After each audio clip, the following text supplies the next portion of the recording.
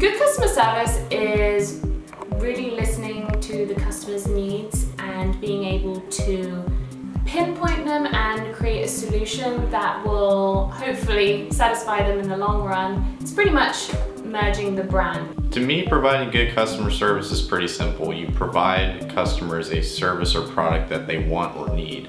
Um, and if anything happens with the product, assist them in um, fixing the issue with the product or service.